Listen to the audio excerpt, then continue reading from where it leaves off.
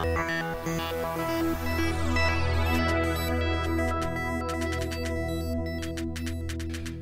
står her med regattasjef Torbjørn Halvorsen. og eh, Hva slags regatta er det vi har hatt i år, Torbjørn? Vi har hatt en regatta som har vært preget av en værmelding som var veldig lite vind i. Og dessverre så styrte ikke vi med det.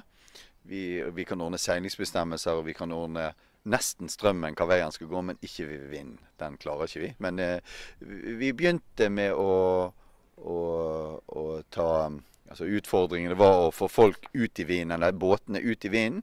Og det følte vi klarte veldig bra med å dra hele regattaen sørover. Og starte den i begynnelsen av, eh, av Korsfjorden, Raunefjorden-Korsfjorden. Ja, fikk få den ut i vinden. Ja, for hvis de hadde startet her, så hadde det vært trøbbel å komme videre. Ja, da hadde vi jo tatt avkorting med Sotrabroen. Det hadde vært litt kort gata. ja da. det når du ser hjemme, så blir det sånn nordlendingene som fisker. De skal se hjemme når de fisker. Men vi vil litt lenger. Så vi ville til Haugesund. I fjor så husker jeg at du sov dårlig om natten pga. mye vind. I år har det vært stikk motsatt. Hva har du tenkt på i natt? Nei, eh, det var dagen før. Da tenkte jeg på det var skodde. Det er ikke kjekt å sende folk ut i skodde. Og det var tjukk skodde. Og eh, de på Feie nord for Bergen, der var de stoppet i fergene pga. Eh, skodde. Så, men heldigvis så, så det ut som det gikk greit. Jeg tror noen båter seilte en del av tiden i skodde, men ikke mye. Eh, de seilte for første gang til Haugesund, og Haugesund seilforening forsøkte seg som pitstop-sted for første gang. Har du fått noen meldinger derfra om hvordan det har gått?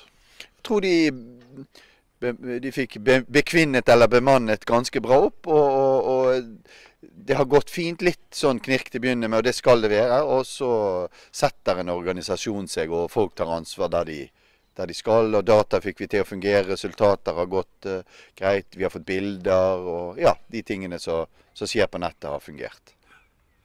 Vi klarte én båt mer enn i fjor.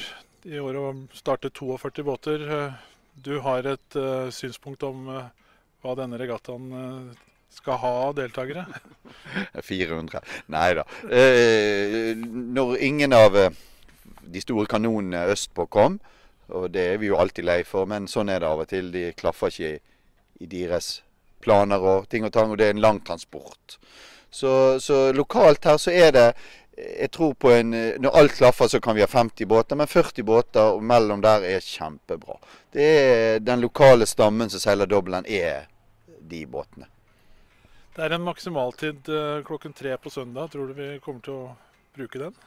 Eh, det var en som het eh, Miss Mona. Hun kom og spurte om jeg hadde forlenget den, men hun har da trukket seg. Så jeg, jeg tror det går bra. Så vi får se. Enten blir det premieutdeling i eh, kveld, eller så blir det i morgen en gang. Vi får se når båtene kommer inn.